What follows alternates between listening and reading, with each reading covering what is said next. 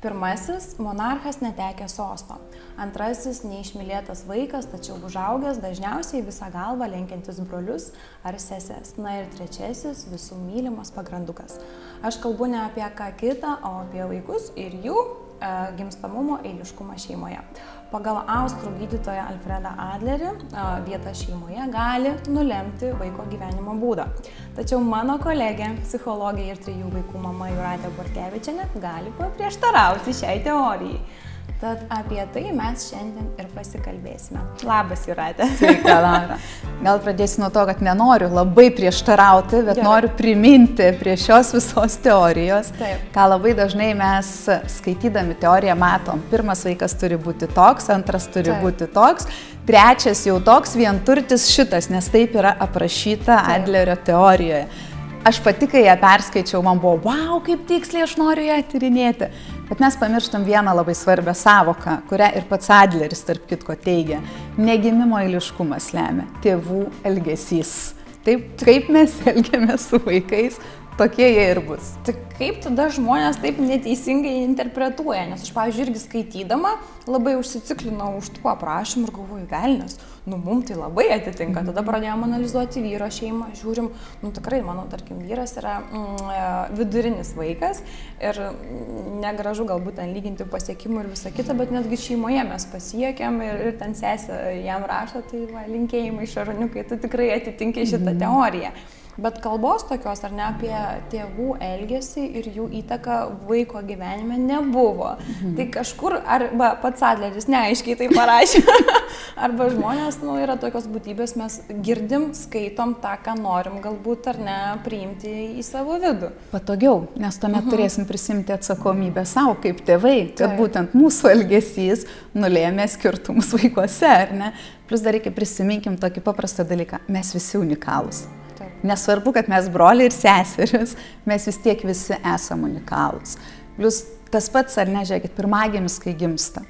Jis neturi jokio konkurento. Mhm. Realiai. Taip. Jis visą laiką turi šimtaprocentinę savo tėvų dėmesį ir meilę. Antras vaikas, jis nežino, ką tai reiškia.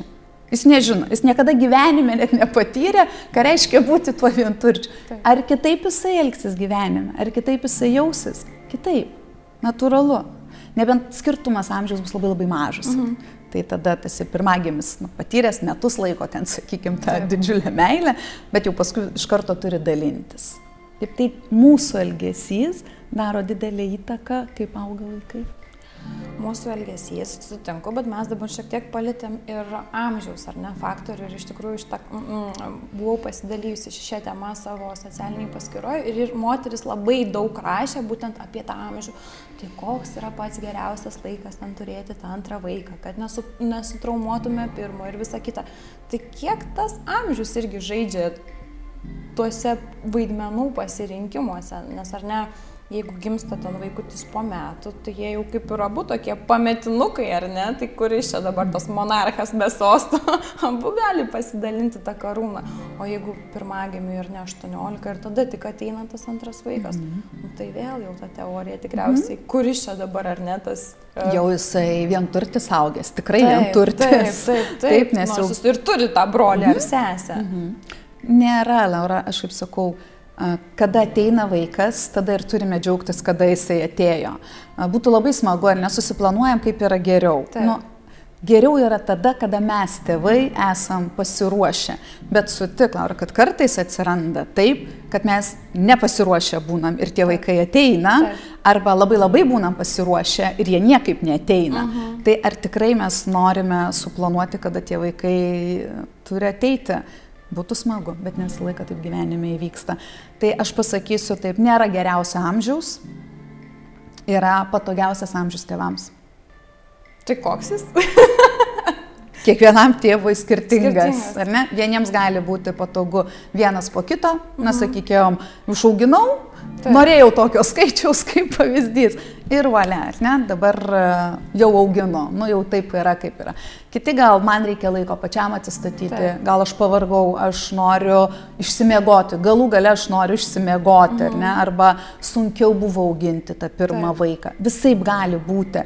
Tai leiskim tėvam patiems nuspręsti, kada turėti ar turėti vaikų Ir pats, nu, didelis prašymas, niekad neklauskit. Tai kada kitas? Mhm. Tai kada kitas? Bus laikas, bus ir vaikas. Čia visuomenė iš tikrųjų jo mėgsta daryti tą spaudimą, kad mhm. kada vestuvės, mhm. kada vaikas, kada antras, kada trečias. Ir nėra pabaigos, mes jau kartais net su vyru juokiamės, jau, jau po trečio jau mūsų rečiau kažkas paklausė, kada ketvirtas.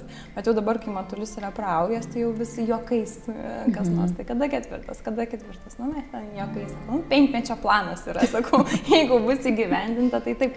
Bet iš tiesų, kalbant apie tą amžiaus skirtumą, nu, mes su draugiam irgi labai dažnai pasilyginam, kurios ten, tarkim, susilaukia antro vaiko po keturių metų ir jam atrodo, kad va, keturi metai yra idealu. Ir aš galvoju, o man kaip gerai, kad jie gimė vienas po kito, tik, tik, tik, tik, ir labai viskas buvo panašu, nu gal vaikai panašus, vėl čia ne, nežinau, kas, kam už tai padėkoti, ar ten pakaltinti už tam tikras situacijas, bet mano atveju tai atrodė, kad va, ten kas metus, kai jie gimsta, tai labai man buvo paprasta, bet kitam žmogui, kaip jūs ir sako, tai gali atrodyti didžiausias kažkoks ar ne košmaras, kaip taip galima, taigi nėra visiškai jokios jokios asmeninės erdvės ir tam tikrų momentų tavo visas dėmesys, dėmesys yra atiduodamas vaikams. Ir žiūrėkit, Laura, yra kurie gimsta pametinukai ir būna patys geriausi draugai, bet yra kurie yra didžiausi priešai. Ir tuomet mes darom išvadas dėl to, kad vat, vienas po kito būtų didesnis amžiaus tarpsnis, taip, taip. būtų geresni draugai. Yra, kurių amžiaus tarpsnis 5-6 metai, jie vienas kitam gerklę gali perkasti. Taip, mhm. o yra, kur yra tokie draugai gyvenimo, ar ne, kur atrodo vienas be kito gyvenimo gyventi negalės. Tai ne amžius. Ne nuo amžiaus visą tai priklauso. Tai gerai, tada grįžtam prie tėvų elgesio. Ne? Tai koksgi tas tėvų elgesys? Aš suprantu, ar ne? Pirmas vaikas labai lauktas, labai norimas, visas dėmesys, galbūt netgi hiperdėmesys, ar ne? Nu, aš puikiai pamenu save. Visi bureliai išbandyti, ten neduok dievę, ten nuo ritmo kažką nusižengsi, jau ten savigraužą reikia gyventi taip ir ne kitaip tada aišku gimsta antras, tada toks ateina vidinis atsipalaidavimas. Kad galiu šiek tiek pasimuliuoti, pažiūrėti ir žiūri, kad, nu, gal visai ir neblogai, ar ne? Mhm. Ir tada gal iš tikrųjų ir tas vaikas, nu, tarkim, mūsų aurėja, vidurinėlė mūsų, nu, jinai labai atsipalaidavusi, mhm. viską žiūri labai paprastai, kai tuo tarpu deimėlė yra tokia griežta, besilaikanti taisyklių. Nu, ir aš galvoju, tai čia mes padarėm taip. Ir tada, kai ateina tas suvokimas, galvoju, velnės, aš niekada nepagalvojau, kiek mano elgesys ir bendravimo manieros a, turi įtakos mano vaikui, ar ne? Ir kartais galbūt net lengviau turėti kažkokią teoriją, kaip jūs ir sakėt, nes aš nusimetu atsakomybę. Čia ne, ne, mhm. taip yra, nes kažkas aprašė ir taip. aš laikau šitos teorijos, o iš mhm. tikrųjų, ar ne? O, pažiūrėjau, trečiasis, jeigu dar tesnų, tai jis yra visiškai išmiluotas, iščičiuotas, plus jisai berniukas, aš labai norėjau to mhm. berniuko, nu tai ten trys metai, jam jau trys su pusė, jis iki šiol su mumis miega, jis yra mano kūdikis, mano leliukas, bet aš jo pati nepaleidžiu. Mhm. Va, matai, ir viską atsakėjai. Mhm. Mm viską pasakėjai, koks elgesys Taip. ir jisai visas skirtingas. Su visais trim vaikais mhm. Mm pačios elgesys yra skirtingas. Dėl to jie ir yra skirtingi. Taip, bet, pavyzdžiui, jūsų atveju irgi taip pat mhm. buvo, nes irgi trys vaikai, na, nu, aišku, mhm. jūsų vyresnėlė šiek tiek vyresnė, ar ne? Taip, tai kaip dabar taip. jūs čia žiūrit?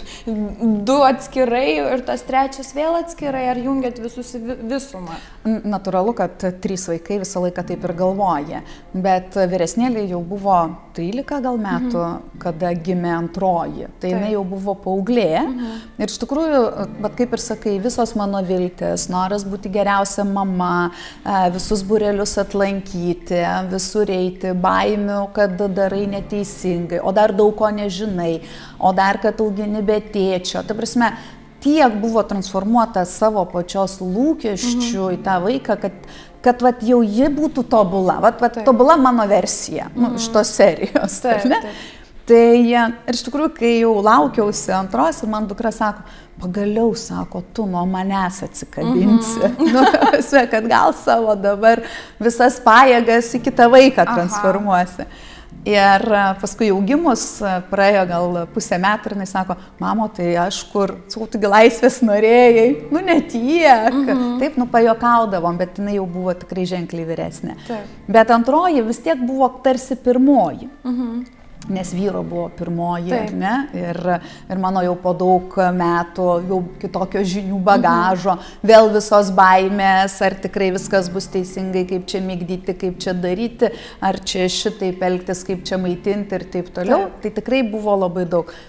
Trečiasis, kai gimė ir sunus, aš negaliu sakyti, kad man labiau norėjosi sunaus ar dukros, aš atvirkščiai labai alpau nuo mergaičių. Mhm. Aš labai norėjau mergaičių, nes aš žinojau, kaip auginti mergaitės. Taip. Nu, man tai atrodė, kad pati kaip moteris žinau, nes Taip. galvoju, nežinau kokio berniuko, kaip jį išauginti, mhm. koks vyras turi būti, koks mūsų visuomenės standartas Taip. berniukų, ar ne? Tai, bet gimus sūnui aš irgi jaučiau, kad, nu, aš visiškai praskydau, mhm. uh, mano lepūnėlis mano visiškai e, saulytė, o jisai dar toks buvo, kur visą laiką išsišiepęs. Nu, visą laiką. Gal čia tie berniukai visi tokie? Ne visi.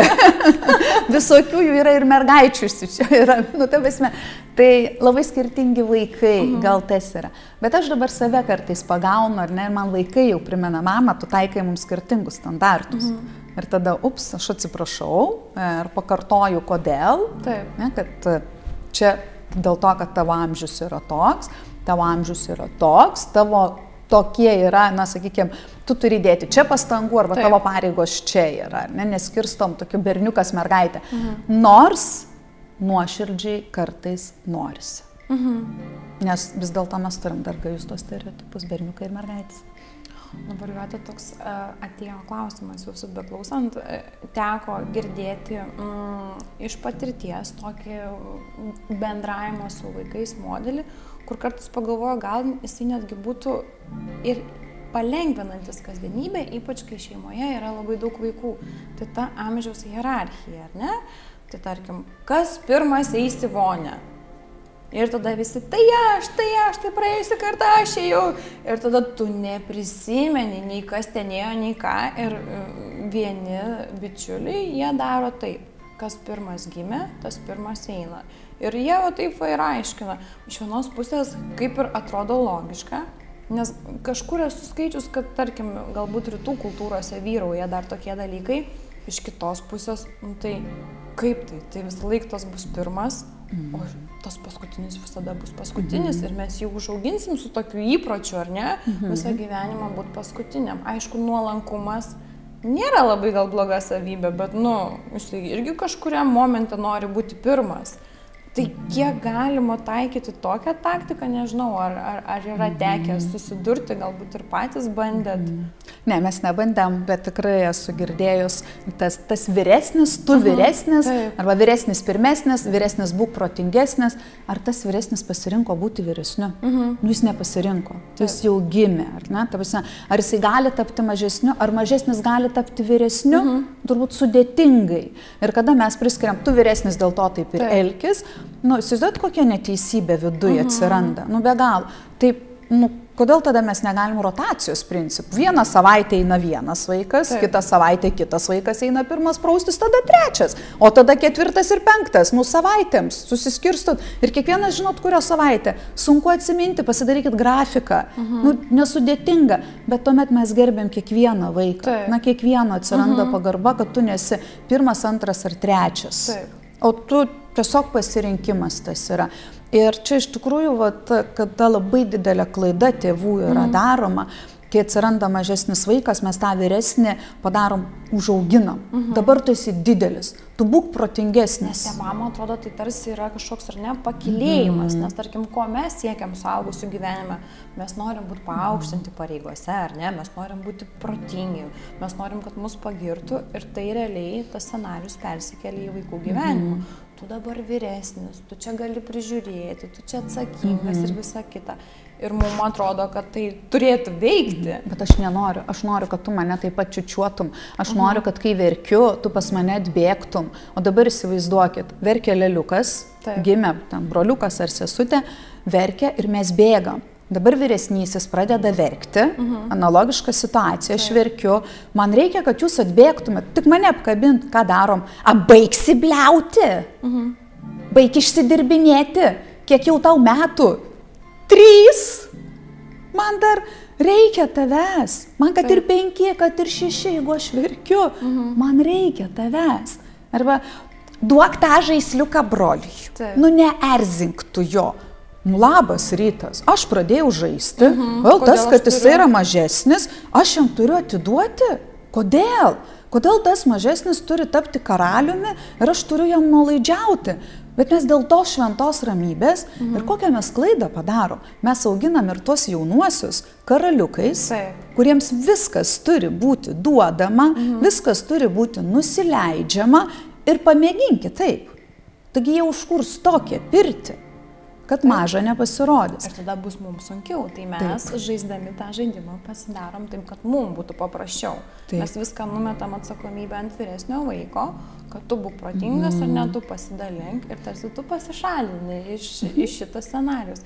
Šiaip man labai pažįstama, nes atrodo kaip ir suprantu, ką jūs kalbat ir tikrai domimės su vyru būtent tom temom, bet vat, gyvenime kartais taip nutinka, kad atrodo jau ten smegenys yra ištaškę.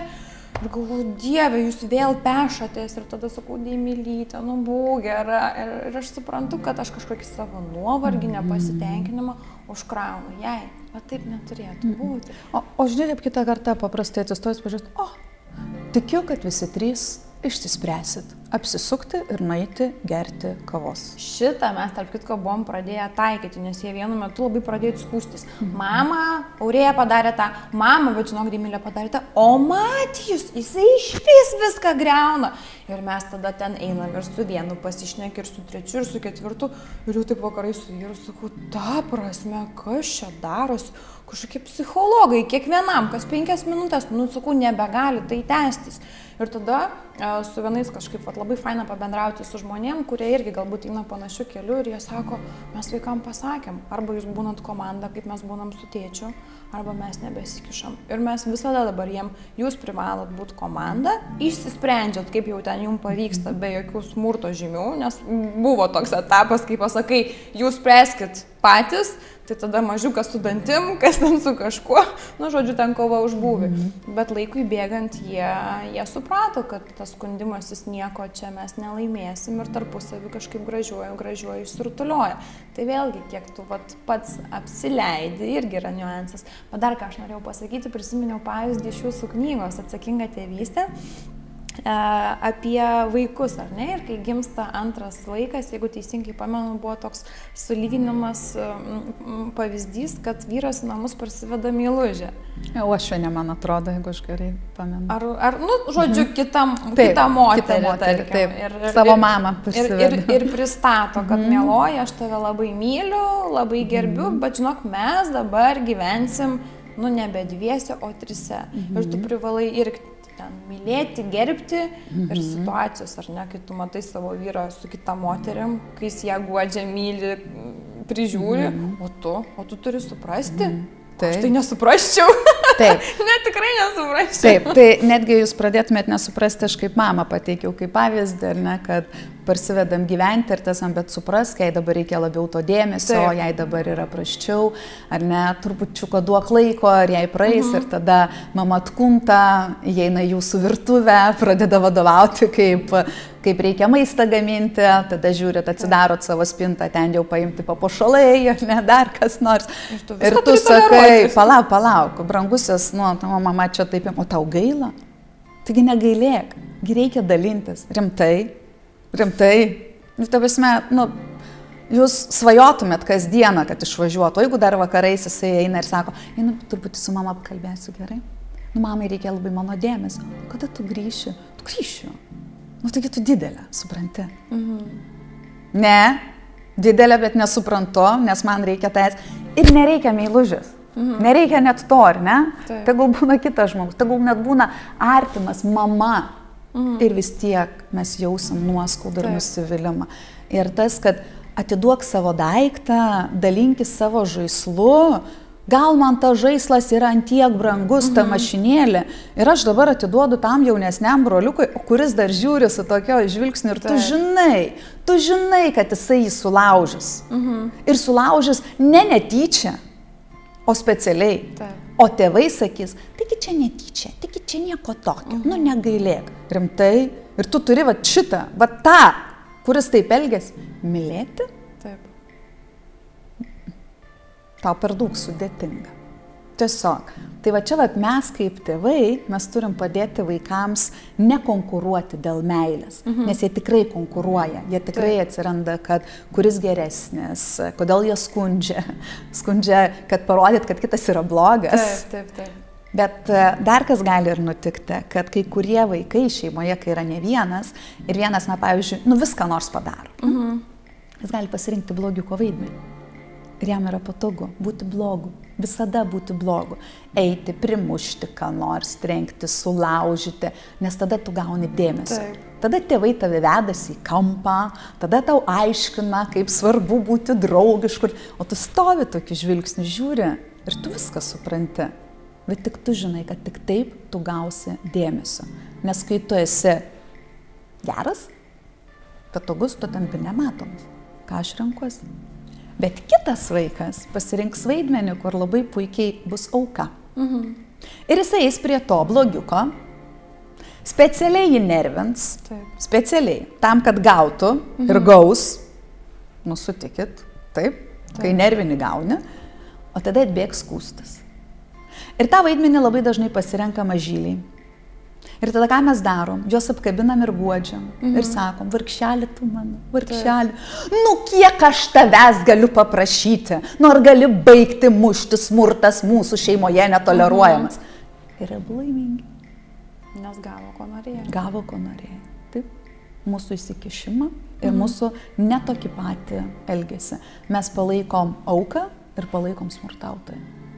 Nors iš tiesų, jeigu mes bent kartais sakytumėm, rimtai, nu, norit pasimušti, jums mhm. tai patinka, puiku, tik už uždarų durų ir jau galit netriukšmaukit. Ir ramiai išeinat, mhm. ramiai. Nu, jeigu negalit ramiai, tai galit pamėginti tokią techniką, kai vaikai mušasi, nu, reikia suprasti, kad muštis yra skauda. Mhm. Nu, niekam nepatinka, kai skauda. Taip. Taip, tai vadinasi, jeigu aš jau mušuosi, tai aš gaunu kažkokią naudą iš tų muštynių. Mhm. Taip, nu, kažkas Taip. bus man po to gerai, nu, mhm. nu, kad dabar biški pakentėsiu. Bet jeigu mes atsistojam kaip tėvai ir sakom, ir dabar Deimylė kelia dešinę ranką, pasileidžia ir varo, ir matulis atgal. Uolė, gerai, taisyklės, prisimenam rinko taisyklės, nei veidą, ten, nei pilvą. Ir komentuojat. Mhm nu, atsiras humoro, teisingai, Taip. kiekviename tame dalyke. Bet tada vaikai atbėgs ir sakys, ar galim padaryti ringą? Uh mhm. -huh. Ir jūs sakysit, žinoma, ir va, skiria 10 minučių, kad jie pasimuštų ringę, kai jūs pakomentuosit. Ir muštinės. Ir jie tada irgi gaus tą tėvų dėmesį, ar ne? Taip. Ir nebereikės būti nei auka, Taip. nei kažkokių skriaudėjų. Ir, ir realiai tada mhm. visiems bus labai geras laikas, mhm. ne? nes ir tėvai bus su vaikais ir jie gaus. O tas ir yra, kad gyvenime labai dažnai nesusimastom, kaip viską galima pažiūrėti paprasčiau, ar ne? Ir pradedam veltis tas problemas, kur kartais to sprendimo nėra. Nes jūs dabar kalbate ir aš klausau ir aš nu, matau savo vaikus. Nors mano širdžiai visada atrodo, kad aš tikrai labai daug atiduodu bet iš kitos pusės gal aš duodu ne taip, ar ne, jeigu, tarkim, prisiminti meilės kalbas.